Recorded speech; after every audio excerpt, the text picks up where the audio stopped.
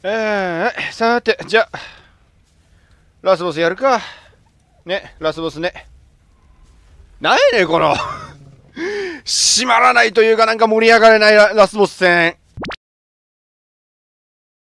えー、今日は、プロメテウス2のラスボスであるところの、まあ、ラスボスだよね、エンドボスって書いてあるから。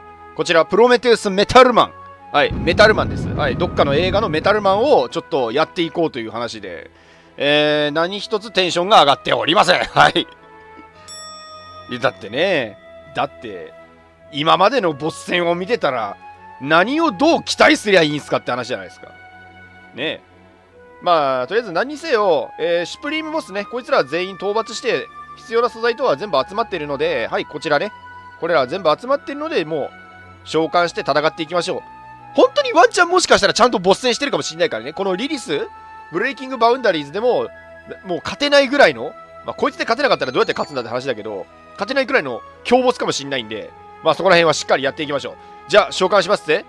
一斉の、一斉の、はい。なんか特殊なな、BGM とか特殊な登場演出があるわけではなくて、普通のボスと同じなのか。あ、来たこれがプロメテウス、メタルマン。本当にメタルマンだ。ていうか、ハゲだなんかさ、メタルマンっていうよりもさ、あの、ファンタスティック4に出てきた、あの、シルバーサーファーみたいな感じに見えるの俺だけかな。まあいいや。じゃあとりあえず、えー、ステータスはこんな感じと。2640B って何？で、待って、で、待ってメレーがこれメレー何これ？1、10、100、1000万、10万、100万、1000万 B っていうことは、え、なんか、やばくね？これ。B ってなんかすごい、なんかやばい単位じゃなかったっけ？この場合って。来たか、ついに。やばいやつが。待って、あの、見かけ上のステータスだけだったらなんかもうリリスが圧倒されてる感じがするんだけど、ちょっと怖くなってきたから、太陽かけていいですか？武器は何も持っていないようだが、何をしてくんだよ？光線でも入ってくんのかな？じゃあ、よいしょ。お、おー一撃じゃない。ほら。待ってダメージ自体はオバフロ食らってんだダメージ自体は。ダメージ自体はオバフロ食らってんのに。何にもこれ同時てね同時ねえって一応体力が減ってんだけどさ。で技は何使ってくる？技は？えっと技は？パパンチとかしてこないの？まあブレスは当たらないとさすがに。うわすっげえ勢いでギジェネしてる。待って 2, 2, 2億以上のダメージを食らってんのにビクともしてないってこと？これ。あ来た来た来た来たほら。なんだこのダメージ？いやちゃんとボスしてるちゃんとボスしてる。嬉しいぞ俺は。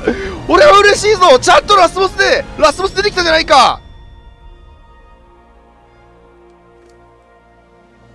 ちゃんとラスボスでラスボス出てきたじゃねえかよ。何これ？3万5000の鎧とか手に入ってる。で、これ何？グラスランドロ、あ、マウンテンレ、あ、これロードボスの心臓か、これ。すごい。パ、パンチだけで、若干リリスが追い詰められてたぞ。パンチだけで。え？よかった。ちゃんとラスボスしてくれてたわ。お前、ちゃんとラスボスしてたじゃねえか。なんだよ。やりゃできんじゃねえか、やりゃ。でも、よくよく考えると、報酬しょっぱくね？よく考えると報酬しょっぱくね？これなんだ？いや、なんか、これさ、こんなん手に入るぐらいだったらさ、なんか、もうちょっとさ、こう、ガバッとシュプリームボスのさ、素材とかも全部一気に手に入るとかさ、え、なんか、もっとあったやん。なんか、エレメントもなんか大量に手に入るとか、プロメテウスコアがいっぱい手に入るとか、なんかいろいろあったやん。お前、ふざけんなよ。この3万5千のパンツ、もともとあったやつ弱えじゃん、お前。なんだよ。特別ななんかパンツ感出しておいてさ。あ、さすがにこれじゃあっさり弱いすぎでしょ。さ、ね、さすがにね。だからね、まあ、やってみましょうよ。ベリーバス Breaking Boundaries も、ラスボス戦を。はい。もしかしたらね、もしかしたら、この子はラスボスをほふるために生まれてきたのかもしれない。うん、もしかしたら。だって、出ないとマジで立場がないじゃん。だって、ねえ、他のボス倒せないんだから。まあなんかほれ人型でなんかねかぶってるしねかぶってるしきっときっと今度こそ今度こそ俺らに勝利を見せてくれるはず。夢と意地を見せてくれるはずだ。やっぱり攻撃はしてこないよね。やっぱり。うん凶暴っていうわけではないんだな。さあ行くぜ。ベヒボスブレイキングバウンダリーズ。最後の戦いだぜ。きっとお前は見せてくれるんだろ。俺らに夢と意地とお前の強さを。なあ。ボスが一切倒せないなんてそんなエンドコンテンツじゃないだろ。ここでお前のエンドコンテンツとしての意地を見せてくれるんだろ。よし行くぜ。